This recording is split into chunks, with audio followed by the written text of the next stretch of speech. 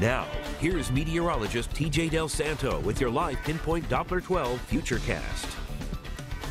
Well, if you're headed out this evening to buy a Powerball ticket, you might encounter a little bit of drizzle, but nothing terribly serious. The real storminess will arrive during the daytime tomorrow, actually arriving during the morning tomorrow. Live Pinpoint Doppler 12 radar. I'm not tracking anything out there at the moment. It's nice and dry. I expect it to remain uh, mostly dry. There'll be some occasional drizzle and mist developing throughout the evening, uh, but that's about it. Nothing heavy. High wind watch in effect for these areas in yellow here mainly in the Providence area and areas on off to the south and east. We could be seeing wind gusts tomorrow from the southeast up to 55 miles an hour. That could lead to some trees and power lines coming down.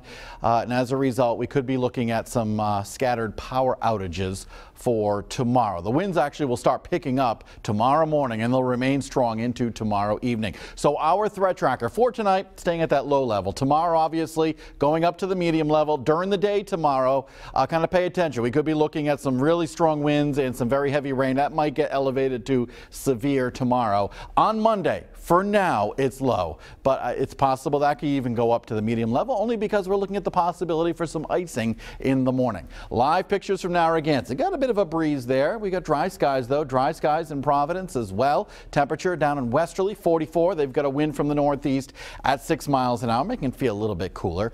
Upper 30s in Smithfield, 43 Providence, 44 in Newport over in uh, southeastern Mass, Taunton, New Bedford in the low to mid 40s. Satellite radar picture showing fairly quiet conditions here in southern New England. A few showers here and there, but in general it's uh, pretty dry across southern New England. Where is this storm? It's out here across the middle part of the country, lined up from Michigan down into Kentucky and Tennessee. This is all going to be working its way into southern New England. Let's take a look at it with our Futurecast. I'm going to stop right here, 7 o'clock in the morning. A couple of showers developing late in the night. We'll We'll see the heavier rain start to come in uh, after about 7 o'clock or so. Notice we're seeing occasional very heavy uh, downpours working through the area. Maybe a few rumbles of thunder tomorrow.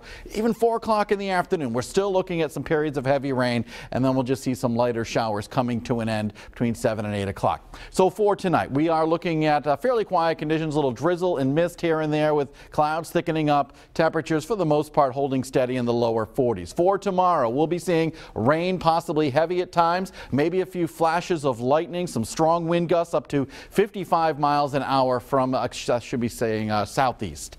Here's your Futurecast, a seven-day Futurecast. We're looking at that heavy rain tomorrow. Uh, whoop, where do we go?